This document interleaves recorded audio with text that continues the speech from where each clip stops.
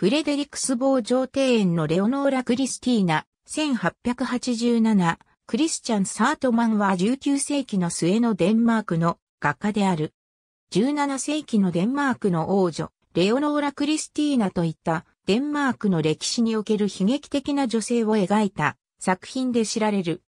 デンマーク王立美術院の伝統的な思想に対抗して1886年に創立された新しい美術学校、カンストナーンズ・フリアストディスコラーの教授に任じられ、デンマーク美術の新しい時代を担う一人となった。ボーンホルム島、レネの医師の家に生まれた。レネの学校を卒業した後、ソーレのソーレアカデミアに入学し、ヨハネス・ゲオルク・スミス・ハーダーに絵を学んだ。アカデミーの校長の詩人、ベルンハルト・セベリン・インガーマンの自宅に招かれ、詩人のハンス・クリスチャン・アンデルセンらに紹介された。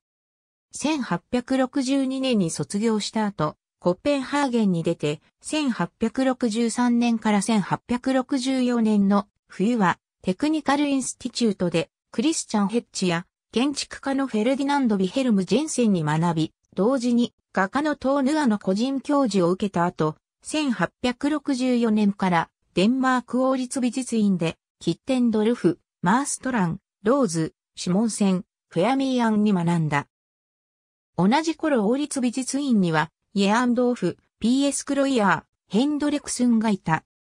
1868年に王立美術院を卒業し、翌年シャルロッテンボー宮殿で開かれる展覧会に初めて出展した後、1891年まで継続的に出展した1871年からクリスチャン4世の娘で、夫の反逆のために20年以上投獄された悲劇の女性、レオノラ・クリスティーナを題材にした歴史画で人気になり、賞も受賞して一連のレオノラ・クリスティーナを題材にした作品を発表した。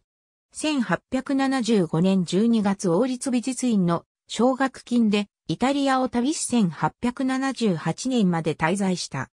1880年代にも何度かイタリアを訪れ、あまり知られていないアブルッツォを訪れ、1890年に小さな山間の町、チビタダンティノに夏の別荘を作り、毎年訪れるようになった。